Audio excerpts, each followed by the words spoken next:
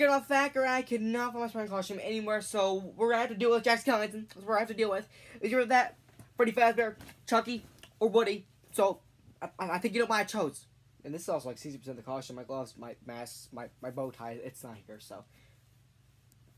But with this issue, I thought we did just get a a big announcement, which I think we were all kind of expecting, but we did not, we don't having a lot sooner. A theatrical release of No Way Home is happening, and oh, I cannot be more excited. And not just a re-release, they're adding new things. This is a special edition release with like deleted scenes, which they're gonna finally finish making, but then do the movie, which will out this September.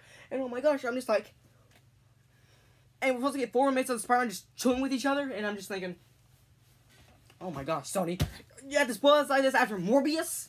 And we'll finally get that fight Tom Gar Spider-Man and one of the post Green Goblin that. Oh, I want that so much. We might be seeing Venom, maybe Venom, maybe America Chavez. I'm just saying. Because they were planning to be in the movie more, but they did not, of course.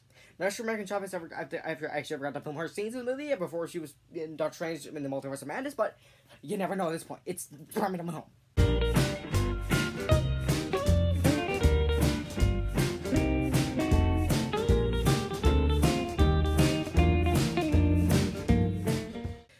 Bet I'm going to go see this, and oh, if you just want more Spider-Man talking, yeah, you're going to see movie, I don't care. I'll sit through the whole movie again there was nothing in it just to see four more minutes of that. And also, I should probably mention this, it came out a few days ago, I just have not mentioned it on the channel yet. There is a new horror movie called uh, Thunderbolts coming out, which is we get two supervillains. Probably mine's already going to Suicide Squad.